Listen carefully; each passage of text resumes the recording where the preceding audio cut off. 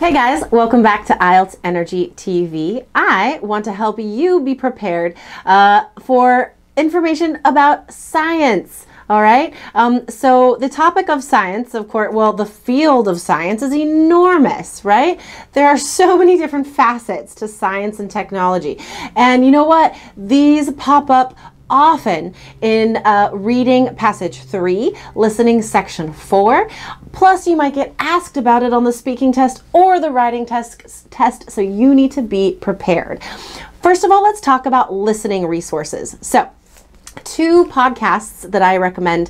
One, The Hidden Brain.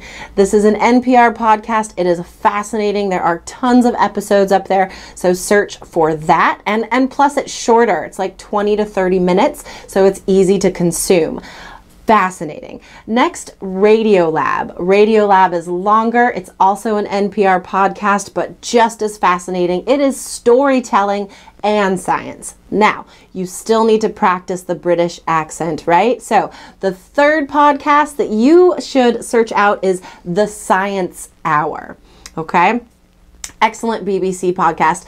Um, guys, Below this video, I'm going to type out all these names, okay? So don't worry, look at the list below. All right, now as for reading, guys, um, I'm gonna give you some really interesting things to search for, okay? Because again, IELTS preparation should not be boring, all right? I want you guys to enjoy preparing for IELTS. Um, all right, so the first thing, you can go to the website or get the magazine for National Geographic, all right? such enormous, wide ranging scientific topics that are also often linked to culture and travel. All right, so these are other excellent areas that you need to prepare for IELTS. So, read some National Geographic, go to the website, you can watch some videos as well. All right.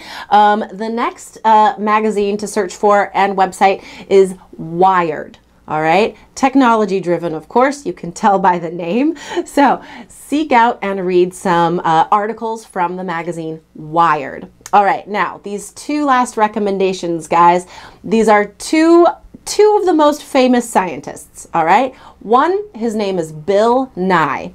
He had a show for a long time called Bill Nye the Science Guy, all right? Just Google him, guys. Read some of his stuff, watch some of his videos. He's awesome and entertaining and so, so intelligent. All right, Bill Nye. Now, this last guy, I hope you've heard of him Neil deGrasse Tyson.